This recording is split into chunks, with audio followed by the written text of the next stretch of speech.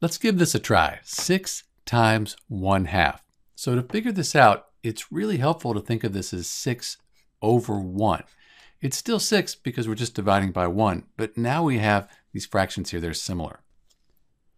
When we're multiplying fractions, we take the numerators, we multiply the numerators together first, then we multiply the denominators. And that'll give us our answer here. So 6 times 1, that's just 6. 1 times 2 is 2. So 6 times 1 half is 6 over 2.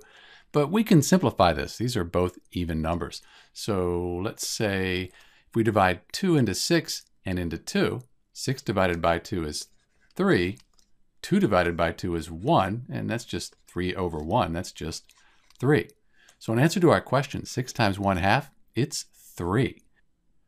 This is Dr. B multiplying 6 times 1 half. The answer is 3. Thanks for watching.